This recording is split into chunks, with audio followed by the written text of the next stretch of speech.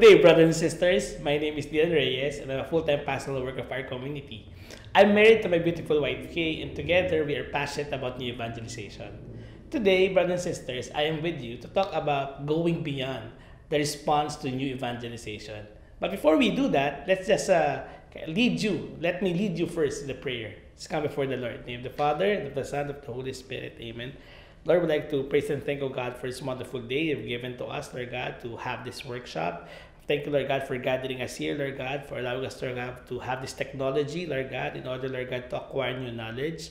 And Lord, as we talk about new evangelization and the 500 years of Christianity here in the Philippines, Lord, we ask you, oh God, that you continue to open our hearts and minds and allow us, Lord God, to receive the grace that you want us to receive today. All of this we ask to the intercession of our dear Mama Mary as we pray Hail Mary, full of grace, the Lord is with you. Blessed are you amongst women, and blessed the fruit of thy womb, Jesus. Holy Mary, Mother of God, pray for us sinners, now the hour of our death. Amen. Saint Joseph, pray for us. In the Father, the Son, and the Holy Spirit. Amen. This year, the Philippines will mark half a millennium of Christianity in our country. And this is indeed something to celebrate. For in 500 years of Christian faith in the country, it has not only survived, but it has only greatly impacted our culture and character of our nation. That is why the theme of our grand celebration in the church today is entitled Gifted to Give. So let me ask you a question. Do you consider Catholic faith as a gift? And if it is, then how is your Catholic faith has been a gift for you? Think about it for a moment. I'm sure that our faith has been a blessing to all of us. Because of it, we have found our peace. When we're experiencing crisis in our lives, it is our faith that help us find our peace. Our faith has helped us to find our hope. When we are experiencing pains in life, it is our faith that help us find our hope to carry on. It has also helped us found our love.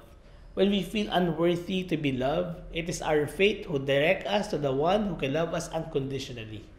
Personally, it has been a blessing for me. Because of it, I have found my strength. Because of my faith, I was able to discover the different talent and skills that I have in life, which was further enhanced because of different services that I have in the church.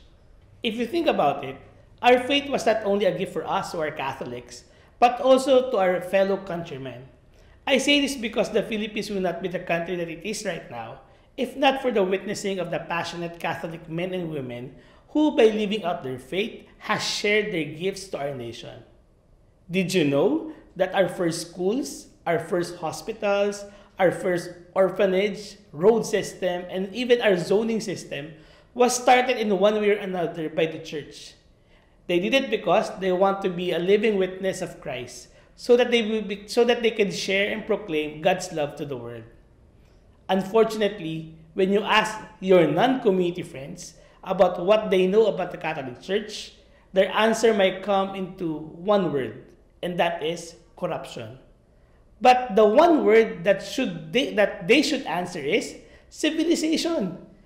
They are so hung up to the image of Padre Damaso and the evils of colonization that they miss to see the hundreds of good priests, nuns, and lay leaders that live out their faith zealously and get out of their way to take care of our own people. That they don't recognize that what started out as a colonization has become a tool for evangelization for a very evangelistic group of people, which is us, the Filipinos, who long after the Spaniards left has continued to keep the faith, whose devotion to the faith is recognized all over the world by their tireless effort to share the faith wherever they are. All because they have met Christ and now transformed, they strive to live in Christ. And right now, they are very passionate in sharing Christ to the world. Do we really have something to celebrate about? Unfortunately, a lot of young people continue to miss the opportunity to meet and encounter Jesus in an intimate and personal way. I say this because I believe that most of the Catholics today are greatly catechized but never evangelized. I say this in spite of the fact that our country is a Catholic country and being one of the three countries in the world where they are the largest number of baptized Catholics.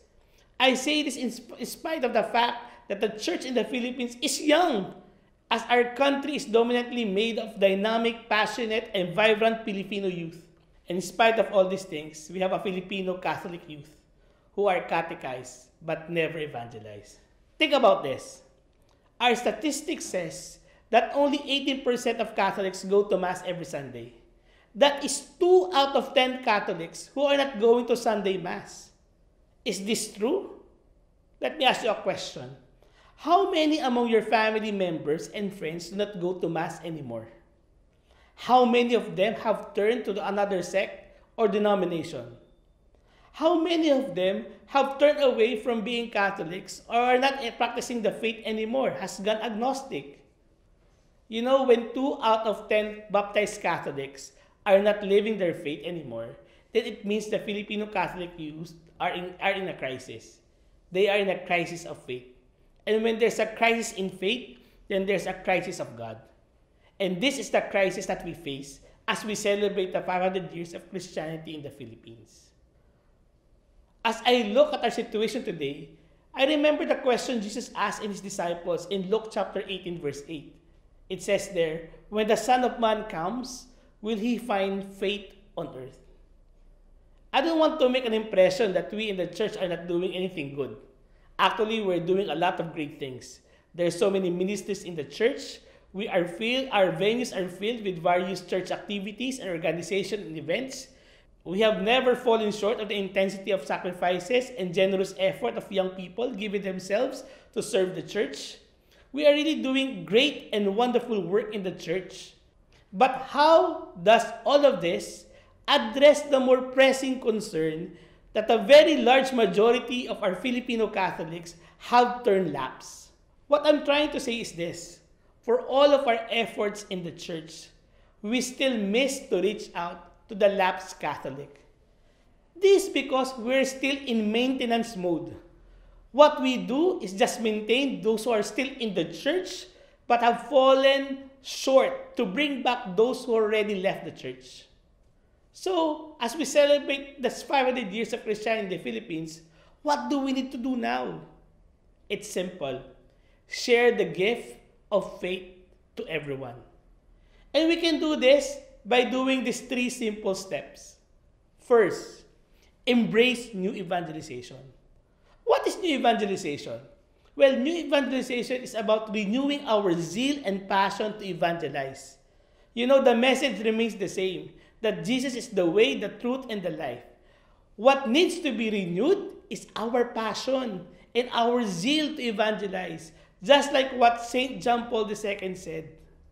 What we need is a new way of, of doing things, finding new tools and methods, and finding new expression, how we could share the gospel, just like what Pope Benedict XVI said. That is new evangelization. But more than that, New evangelization about renewing ourselves. In Matthew chapter 9, verse 17 it says there, people do not put new wine into old wineskin. Otherwise, the skins burst and the wine spills out, and the skins are ruined. Rather, they pour new wine into fresh wineskins, and both are preserved. We need to constantly renew ourselves to be effective witnesses, to be effective witnesses. We need to renew ourselves to capture this new outpouring of the Holy Spirit that will renew ourselves, our country, and our church.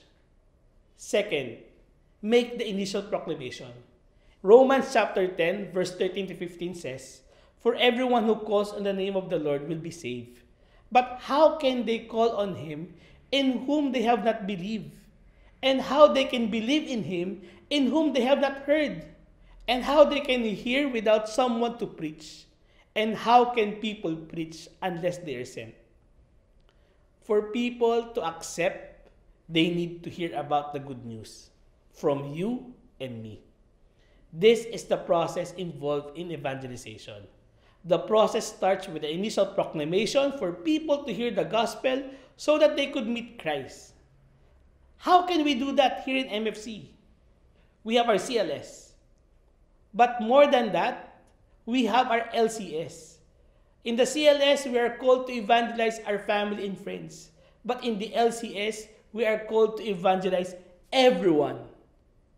That's the challenge that I leave to you. Make initial proclamation through the LCS. But the Lord also has given us different programs, in Live Christ, Share Christ that can do, can, that help us do new uh, initial proclamation. By starting out your Live the Word hubs. By presenting and giving Live Pure forums. By presenting Live Life and sharing the Live Life forums. By looking at poor communities and help them live their lives uh, to the dignity as sons and daughters of God by giving them our Live Full programs. Truly, the Lord has given us so much. We can give so much so that initial proclamation can happen in this great year of celebration. So, where should we go to proclaim? Well, we should go to our parishes. Let's go back to our parishes and share this beautiful program of Live Christ, Share Christ to them. Let's go to our workplaces where our, our workmates are dying to hear the good news. Let's go back to our families and friends, but most especially, let's go to the peripheries. Third, make a positive difference. It's about changing our priorities. It's all about making what is what what is more important, which is evangelization and mission, to be the top priority of every baptized Catholic. It is making evangelization and mission the most important work in the church today. It's all about urgency. It needs to happen now. We are in a crisis mode. We cannot waste time. We need to be intentional, focused, and deliberate. It's about newness. Newness of approach, of methodologies, of system, of medium, of expression.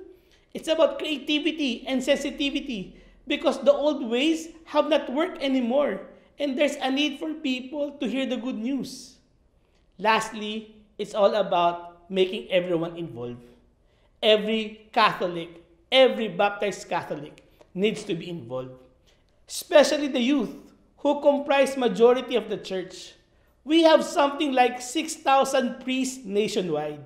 If we have 100 million Catholics and 80% goes to Mass, and about 82 million are lapsed, if the 6,000 priests were to reach out to those lapsed Catholics, eh, which are 82 million, that would translate into a ratio of one priest to reach 13,600 lapsed Catholic.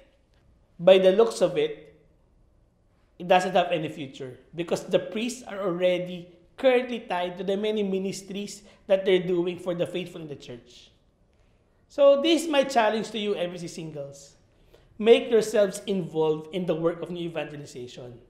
We're so used to the idea that when we evangelize, we bring people to the community. But not everyone is meant to be in a covenanted community such as ours. Not everyone is meant to be in a community such as ours. We need to widen our perspective and see the work of new evangelization by bringing lapsed Catholic back to the church. And God has given us the tool to make it happen. That is Live Christ, Share Christ. So if you want to be a gift to the church this year, then I challenge you, go back to your parishes, go back to your workplaces, and share the work of new evangelization through Live Christ, Share Christ. Share to them the different pillars that answers the need to evangelize the various sectors of our society. Share to them the pillars which is an answer to the signs of the times. Brothers and sisters, the Lord has given us a tool to make new evangelization happen. Let us embrace the mission of Live Christ, Share Christ, and let us mainstream lay Catholic evangelization. For that, may God be praised.